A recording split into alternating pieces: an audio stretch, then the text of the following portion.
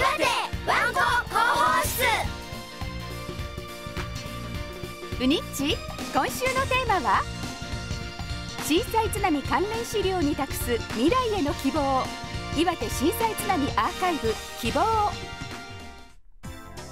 県では東日本大震災津波の風化を防ぎその経験教訓を未来に伝えるため写真や新聞などの震災関連資料の収集を進めてきました。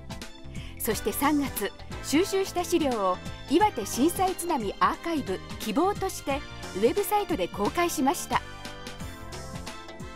県では市町村や防災関係機関の皆様にご協力いただき岩手震災津波アーカイブ希望を構築しました。このアーカイブでは20万点を超える東日本大震災津波に関する資料を検索閲覧できるようになっています。多くの県民の皆様にこのアーカイブをご覧いただきさまざまな場面でご活用いただきたいと思います。サイトでは6つのテーマピックアップコンテンツなどから活用したい情報を探すことができます。この震災津波アーカイブ希望には東日本大震災津波で直面した、まあ、多くの困難な状況に、まあ、どのように対応してみんなで力を合わせて乗り越えそしてふるさとの復興発展のためにこう取り組んできたかそういったことを伝える写真や新聞さまざまな記録など資料がたくさん収められています。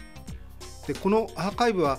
大人だけでなく子どもたちが自分で復興や防災ふるさとの魅力について調べたり学んだりできるとても分かりやすいものになっています。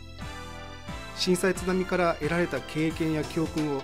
未来に伝えていくためにもぜひ多くの方々に活用してほしいというふうに思っています。